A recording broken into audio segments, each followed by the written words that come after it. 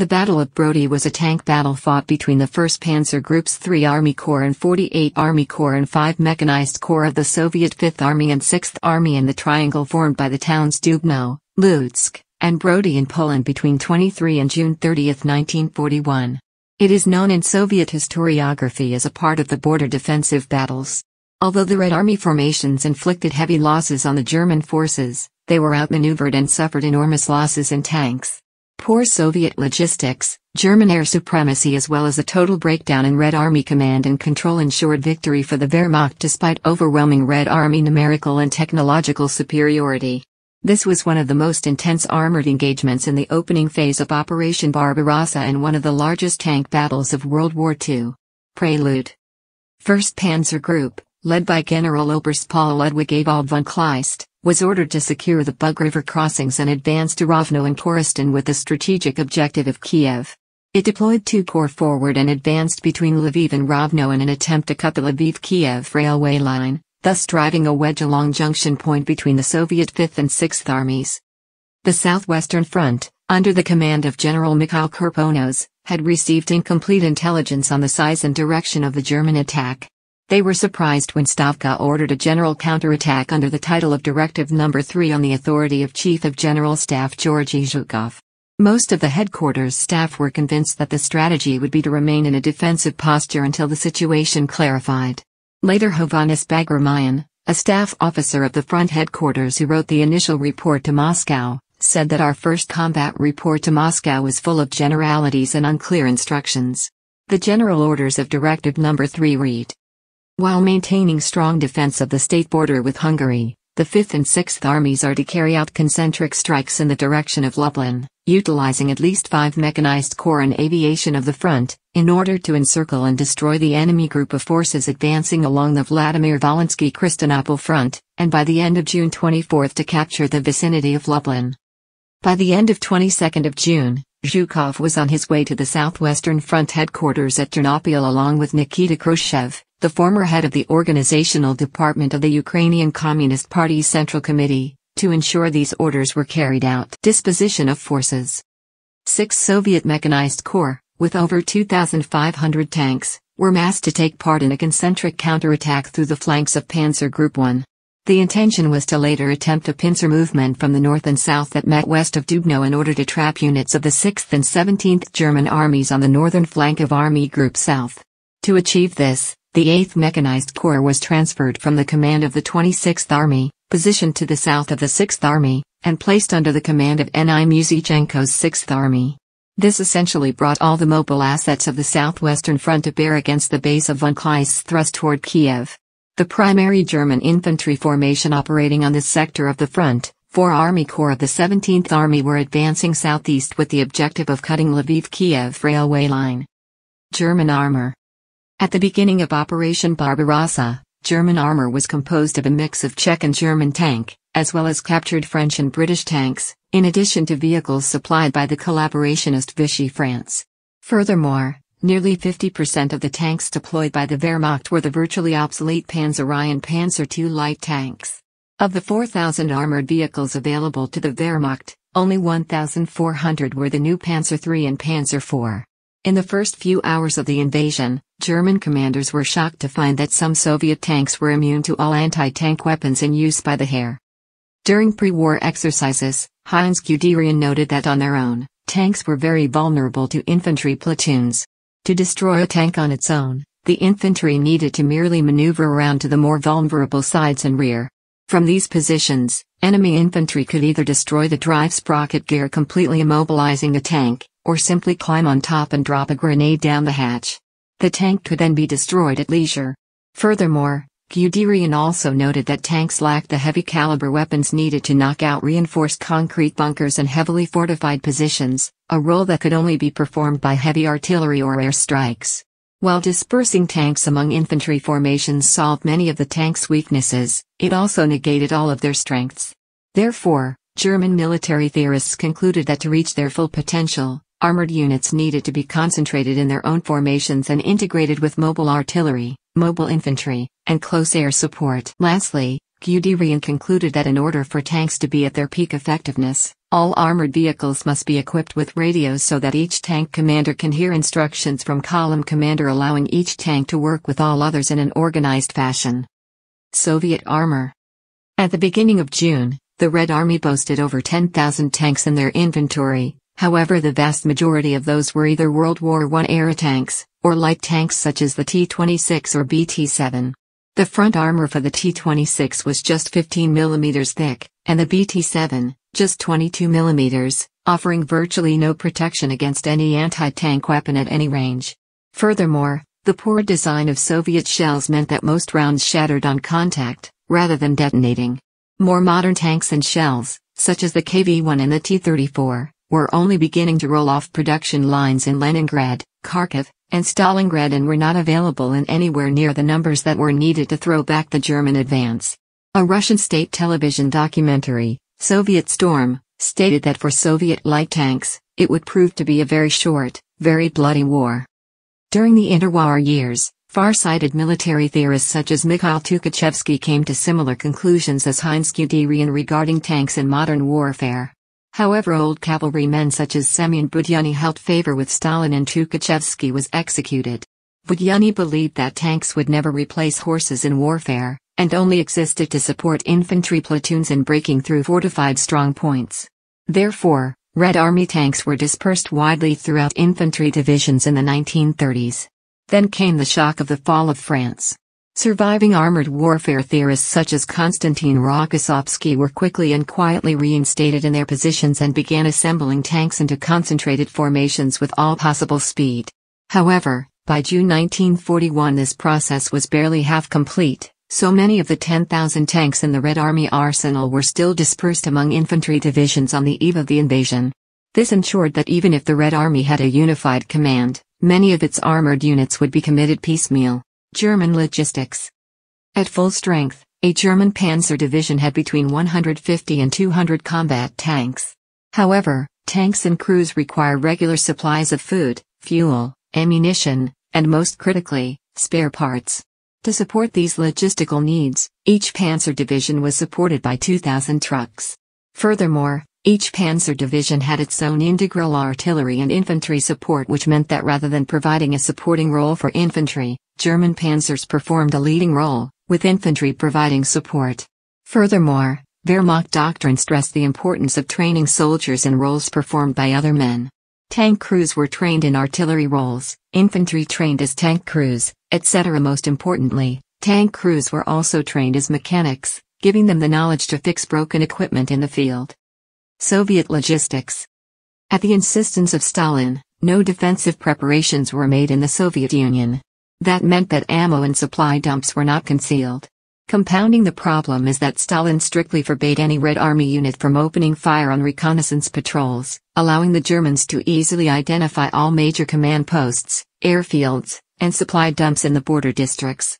The result of these poor preparations meant that all of these points were all knocked out or heavily damaged by air raids in the opening hours of the war. Furthermore, Soviet tank crews were not trained on the mechanical details of their machines, that meant that simple mechanical problems resulted in hundreds of Red Army tanks being abandoned on the roadside en route to the battle. Those units that did manage to show up at their jumping off points then discovered that the supplies had either been destroyed or moved to another location without updating their locations. After receiving orders to attack and now out of fuel or ammo, the crews of these tanks responded to their orders by blowing up their own vehicles and retreating. Hundreds of additional tanks were lost in this way before joining battle. Compounding these logistical difficulties was that each Red Army tank division had 300 to 400 tanks, but were supported by only 1,500 trucks, contrasting with the Wehrmacht tank division which had only 150 to 200 tanks, but 2,000 trucks. Experience would prove that that Germans got it right. Balance of the tank forces. On June 22, 1941, the balance of tanks over the entire area of the German Army Group South and the Soviet Southwestern Front, including but not limited to the main Battle of Brody, was as follows Battle in the Air. The condition of the Soviet Air Force assigned to the Southwestern Front followed the pattern of the entire front line, the majority of its aircraft had been destroyed on the ground as a result of Stalin, disregarding intelligence that German attack was imminent, refusing to put Soviet forces on alert. For example, Lieutenant Archipenko's 17th Fighter Regiment were caught on the ground and almost totally destroyed by the third day of the war. The remainder of the regiment, comprising only 10 I-153s and 1 MiG-1, retreated to a reserve airfield near Rovno. Still, the Soviets sent their surviving aircraft to support the offensive. The air battle resulted in heavy casualties for the attacking Soviets. JG-3, under the command of Flieger Corps 4, shot down 24 Tupolev S.B.S. On the first day. Among the casualties was the commander of 86 SPAP, Podpolkovnik Sorokin. Just 20 of the initial 251 S.B.S. remained with the unit. German losses were also heavy, with 28 destroyed and 23 damaged aircraft. The efforts of the Red Army Air Force were not without effect, as the Southwestern Front Air Force flew 523 sorties between 22 June and 24 June, dropping 2,500 bombs. Gustav Schroedek, a tank commander of the 15th Panzer Regiment, recorded the scene. At dawn of June 24, the regiment underwent its first attack by Russian bombers. It shall not be the only one this day, completely the opposite. As a result of this the regiment now has several dead and wounded. Near total Luftwaffe air superiority was to be a major factor in breaking up the Soviet counterattack. Mobilization The attack combined six mechanized corps under the command 5th Army to the north and the 6th Army to the south, under the general direction of Southwestern Front Commander Kirponos. Under the 5th Army command, Konstantin Rokossovsky's 9th and N.V. Feklenko's 19th Mechanized Corps were to be deployed northwest of Rovno, while the 22nd Mechanized Corps was to assemble northeast of Lutsk. To the south, under the command of the 6th Army, Dmitry Ryabyshev's 8th and I 15th Mechanized Corps were to be deployed to the southwest and northeast of Brody, while the 4th Mechanized Corps under A. Vlasov was to be deployed between Sokal and Radikov, on the left flank of the 15th Mechanized Corps.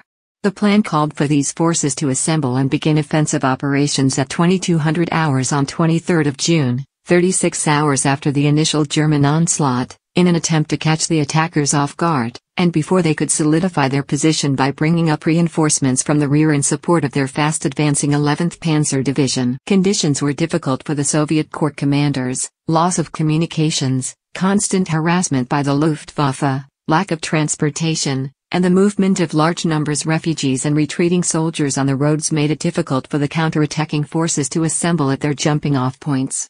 While communication between the front headquarters and the individual army commands was generally good, communication to the frontline units was seriously flawed, because it was dependent on the civilian telephone and telegraph network.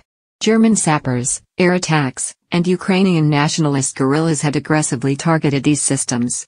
Many Soviet frontline commanders were left to their own devices, and this had an impact on the effectiveness of Soviet command and control. In one instance, the commander to the 41st Tank Division of the 22nd Mechanized Corps, for want of any new directives, moved his division to the designated assembly point for his corps at Kovel laid out in the pre-war plan and, and in so doing, moved his division away from the fighting. Another endemic problem was the lack of transport for the infantry component of the Mechanized Corps.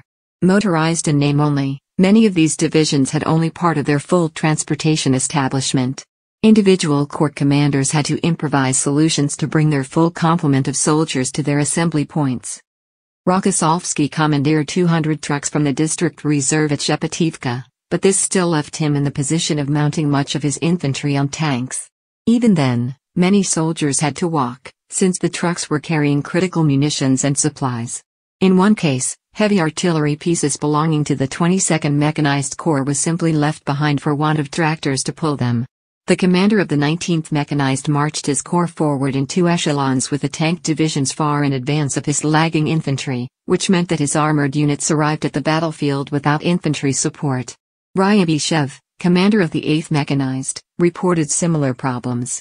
His artillery was towed by exceedingly slow tractors that held up the movement of the entire column, the columns were moving at top speed.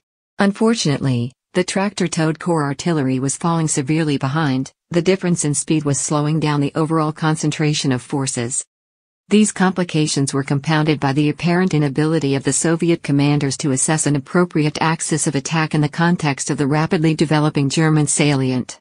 Between 22 June and 24 June, the 8th Mechanized Corps received three different locations for its assembly point, the original order from the Front Command, a new one from the commander of the 6th Army, and on 24 June another order from the Front Command. The Corps crossed its own path and backtracked several times before finally arriving at Brody. Ryabyshev later wrote. Around the second half of June 25, the Corps units deployed to the northwest of Brody.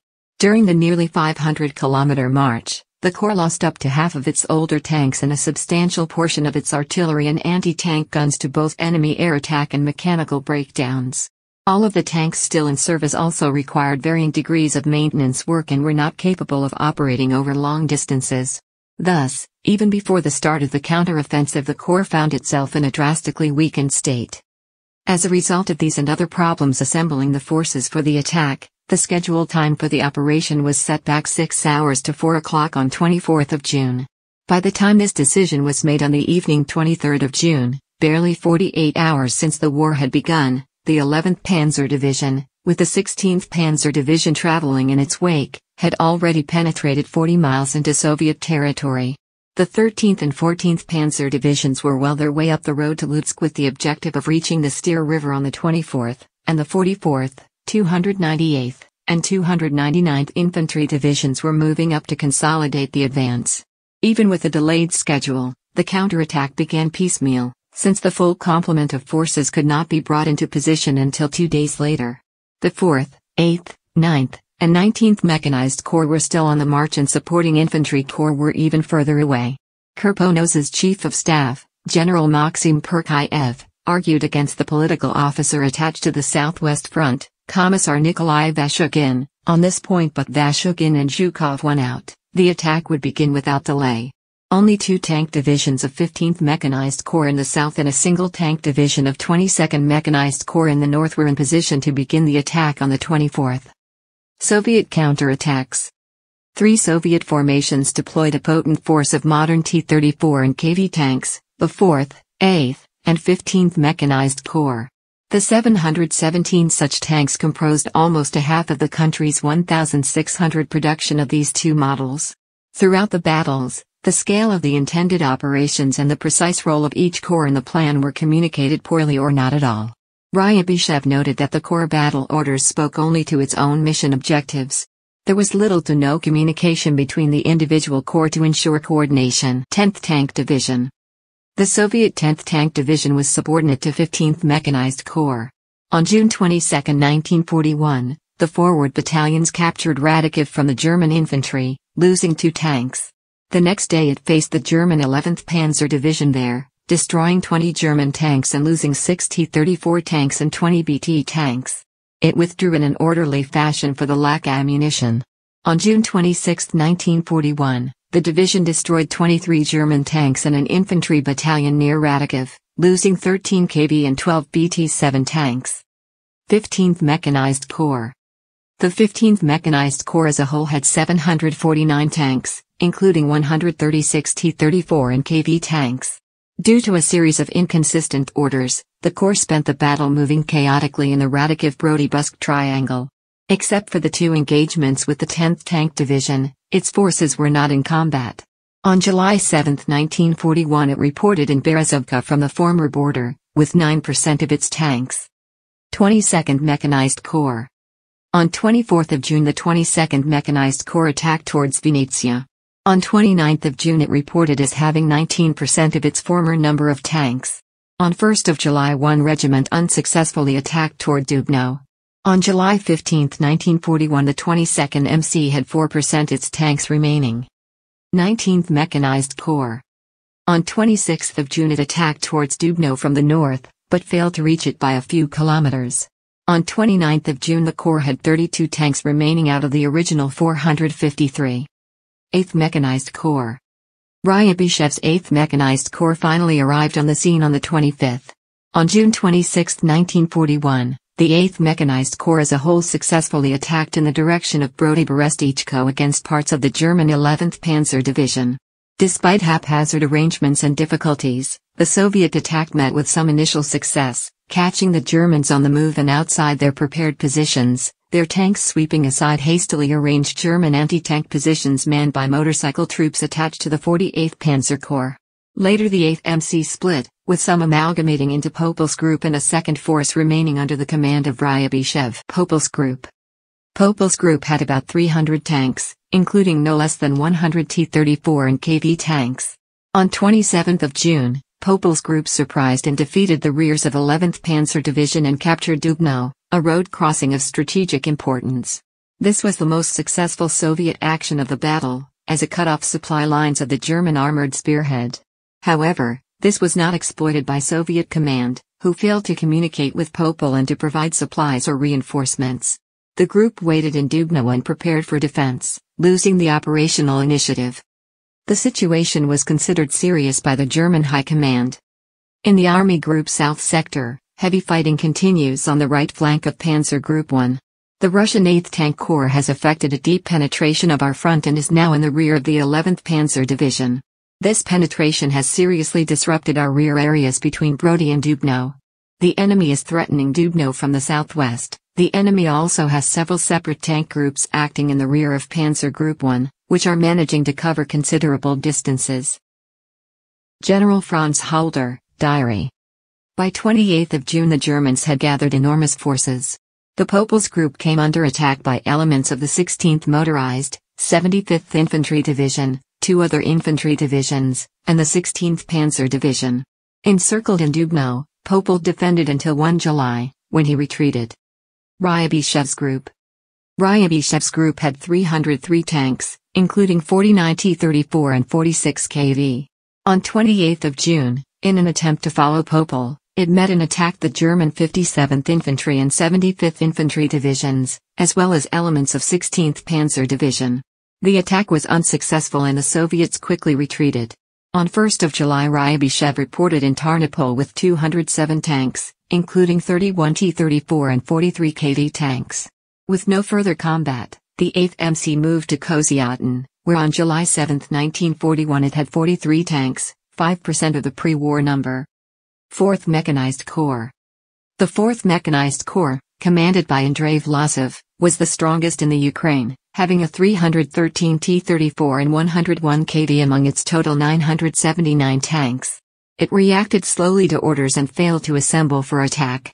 The most it achieved was on 28 June, when it secured the retreat of 15th Mechanized Corps from the pushing German infantry.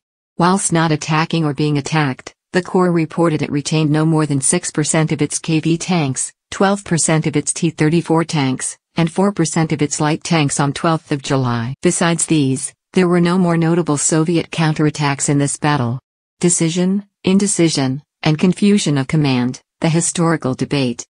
The impact of the hesitation and confusion of command on the 27th of June on the outcome of the battle and the German attack into Ukraine is hard to determine. When the Soviet forces took Dubno and cut off the leading edge of the main German attack, Kirponos thought that the same German attack threatened to outflank and encircle the Soviet forces attacking from the south. This led him to order a halt to the offensive and a general retreat in order to rationalize his front line, so as to prevent the enemy tank groupings from penetrating into the rear of the 6th and 26th Armies, according to H. Bagramian. After a debate with the front commander and his staff, Georgy Zhukov quickly had these orders countermanded. Orders for a renewed attack were issued two hours later. This led to even more of the confusion that was symptomatic of the Soviet command at the Battle of Brody. Rokossovsky, who was in command of the 9th Mechanized Corps attacking from the north, simply balked at these new orders, stating that we had once again received an order to counterattack. However, the enemy outnumbered us to such a degree that I took on the personal responsibility of ordering a halt to the counteroffensive and to meet the enemy in prepared defenses.